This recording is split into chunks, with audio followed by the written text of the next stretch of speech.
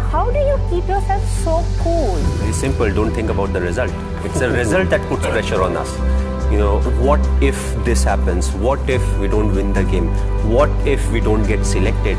But again, worry about the controllables. You know, and whatever the controllables are, we take care of it. We'll get the desired result. If we don't get the desired result, we'll improve.